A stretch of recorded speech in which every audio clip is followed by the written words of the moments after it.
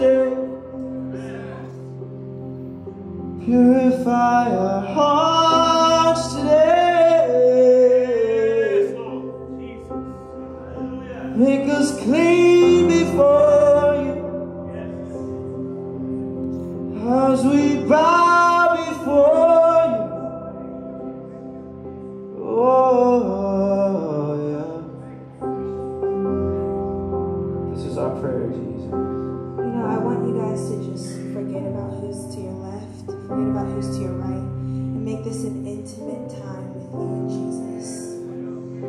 Don't think about anyone in the room. Don't even think about where you're at.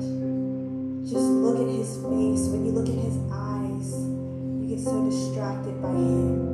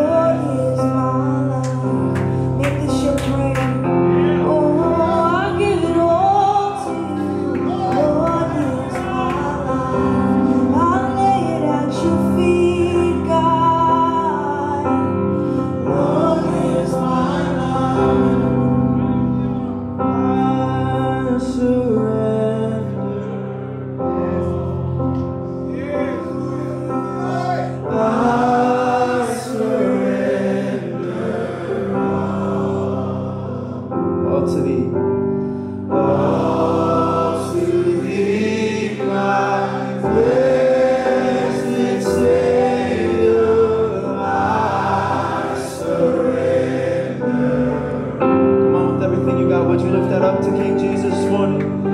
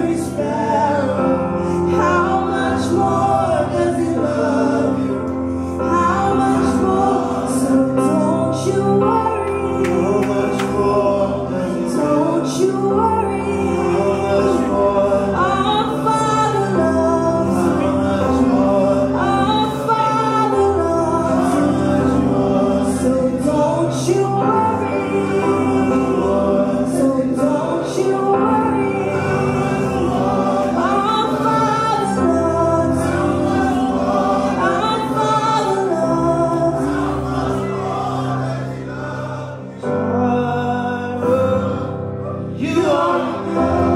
Come on, y'all.